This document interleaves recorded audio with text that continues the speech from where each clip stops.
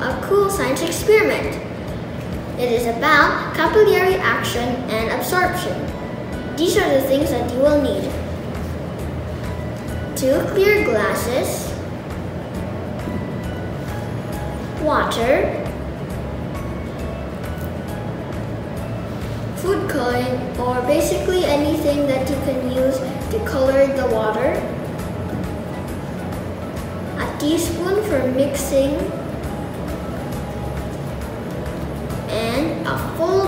tissue. So what you're gonna do first is you're gonna pour the water into the first glass.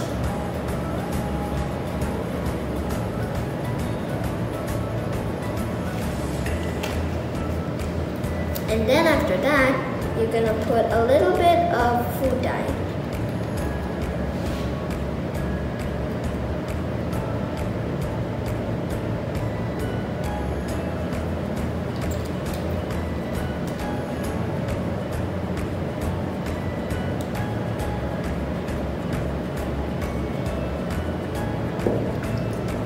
Then you're gonna mix it with your teaspoon.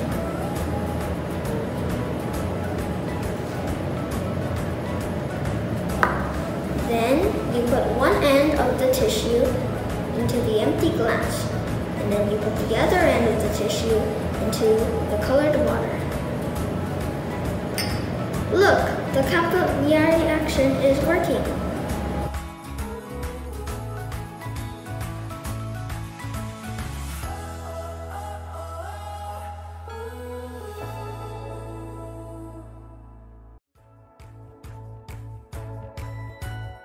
After a few minutes, the water is getting into the other glass.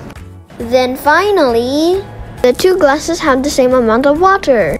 The colored water travels up the paper towel into the other glass because of the process called capillary action.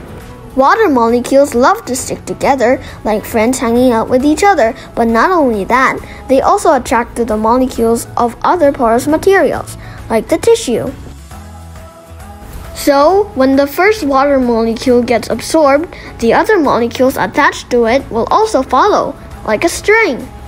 That is why we see the water moving up and down following the path of the tissue. That is capillary action. Thank you!